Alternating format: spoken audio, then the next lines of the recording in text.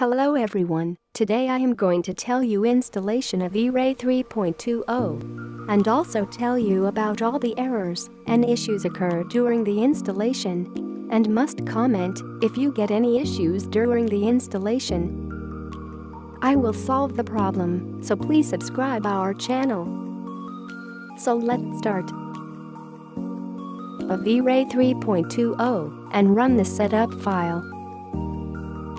Now click on I agree button as usual. Now click on customize and uncheck Wibu key but as you see Wibu option is not showing or if we do not done this the V-Ray did not install, see I am still installing the V-Ray.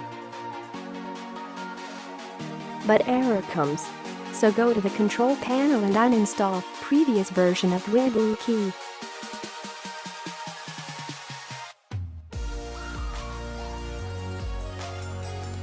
So go to the control panel and uninstall previous version of Wibu key.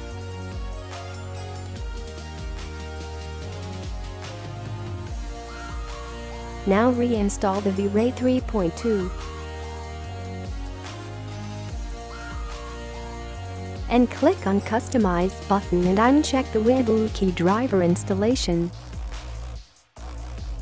Now you have successfully installed V-Ray.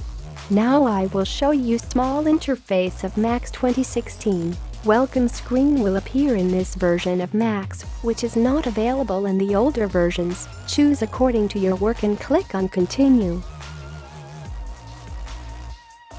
Now Max 2016 is look like this.